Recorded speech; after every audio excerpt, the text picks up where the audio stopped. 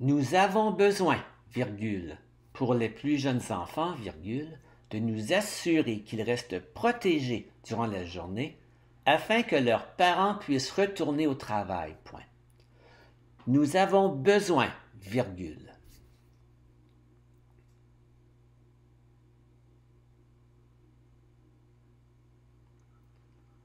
Pour les plus jeunes enfants, virgule, pour les plus jeunes enfants,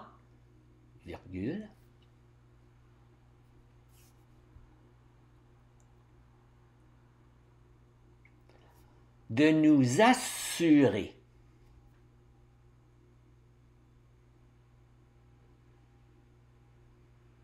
de nous assurer qu'il reste protégé, qu'il reste protégé.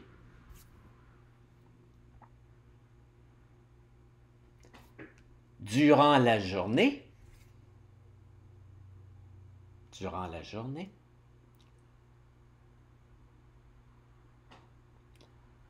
afin que leurs parents, afin que leurs parents, afin que leurs parents puissent retourner au travail, point. Puissent retourner au travail, point. Nous avons besoin, virgule, pour les plus jeunes enfants, virgule, de nous assurer qu'ils restent protégés durant la journée afin que leurs parents puissent retourner au travail. Point.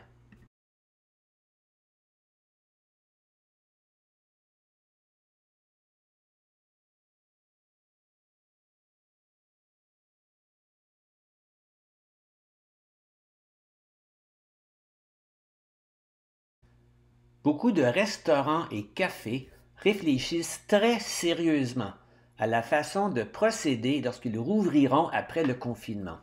Dans la ville de Dordrecht, aux Pays-Bas, des essais ont été faits. Ça n'a pas l'air simple de garder 1,50 m de distance de sécurité. Des camps d'été de la Colombie-Britannique prennent toujours les inscriptions. Adrien Blanc, publié le 25 avril 2020.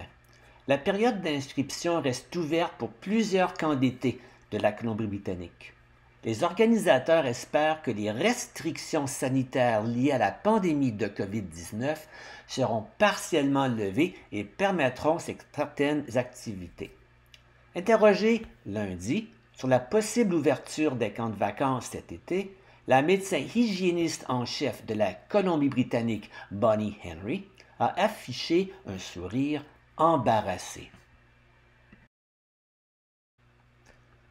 Je ne peux pas vous dire à quoi cela va ressembler, a-t-elle répondu, mais je peux vous dire que c'est une question qui se pose et dont nous discutons. La docteure Henry a ainsi expliqué que le mois de mai pourrait permettre d'expérimenter un retour progressif de certains élèves dans les salles de classe ce qui pourrait servir de modèle pour la reprise des activités dans d'autres secteurs. Nous avons besoin, pour les plus jeunes enfants, de nous assurer qu'ils restent protégés durant la journée afin que leurs parents puissent retourner au travail. Bonnie Henry, médecin hygiéniste en chef de la Colombie-Britannique. En attendant des directives claires, de nombreux candidats de la Colombie-Britannique ont choisi de maintenir leurs inscriptions tout en adaptant leur programmation. Un retour à la normale progressif. Les activités sportives et culturelles pour les enfants âgés de 6 à 12 ans sont toujours au programme du Centre culturel francophone de Vancouver. Le scénario qu'on a en tête, c'est qu'on pense qu'au début de l'été, on devra probablement offrir le contenu du camp virgule en ligne, détaille le directeur général Pierre Rivard, et que progressivement durant l'été, on aura les enfants avec nous.